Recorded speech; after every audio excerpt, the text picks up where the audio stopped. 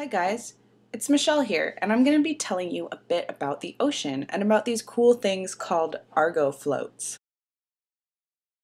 How the heck do oceanographers know exactly what's going on in the ocean anyway? Well, they start off with a couple of really important measurements, temperature and salinity. Here's a cool 3D plot from the Pacific Marine Environmental Laboratory in Seattle showing how temperature can vary in the ocean. Temperature and salinity data are sort of the bread and butter of oceanographic modeling. Right now, oceanographers are asking a lot of big questions, like how does the ocean interact with the Earth's atmosphere? How much carbon dioxide can the ocean absorb? How do ocean currents impact climate change? One way to get temperature or salinity data is to go out on a ship and measure it directly. You could lower special instruments deep into the ocean to take measurements at different depths.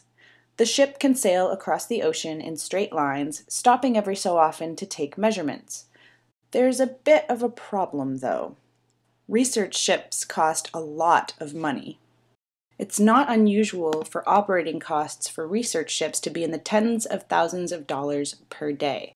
Luckily for oceanographers everywhere, ship-based measurements are not the only way to go. For example, you could get your measurements from moorings, where the instruments are attached to a wire and anchored so they stay in place. These instruments can take measurements at a single location for a very long time. You can also use satellites to take measurements remotely. Satellites measure radiation from the sea surface, and those measurements can be used to estimate temperature and salinity. But you don't want to hear about that stuff. You're here to learn about Argo floats.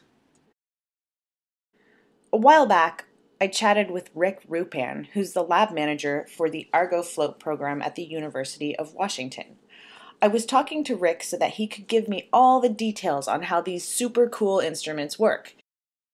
And he would know. Rick and his team design, build, and deploy 95 to 100 floats every year. Rick explained to me that each float is programmed with instructions telling it where to go. A typical Argo float is programmed with a 10-day cycle that repeats over and over and over. The first thing the Argo float does is drop down in the water column to a depth of thousand meters. It chills out there, just drifting, for about nine days. Then it's time to get to work. The float sinks down to 2,000 meters and then rises to the surface over the course of a few hours, collecting temperature and salinity data along its ascent. Once it's at the surface, it communicates with a satellite to send the most recent profile back to data centers on land. At this point, you're probably wondering how the floats move up and down in the water column. It all really boils down to changes in buoyancy. Basically, buoyancy describes whether a solid object will sink or float when it's in a fluid. If it's denser than the fluid, it will sink. And if it's less dense, it'll float. Rick explains that density depends on two things, the mass of the object and the volume. The relationship looks like this. The density is equal to the mass divided by the volume. This equation tells us that if the mass increases, the density will also increase. On the other hand, if the volume increases, since it's down here in the denominator, the density will decrease. Got that? Okay, but hang on. We can't change the mass of the Argo float, so that leaves the volume.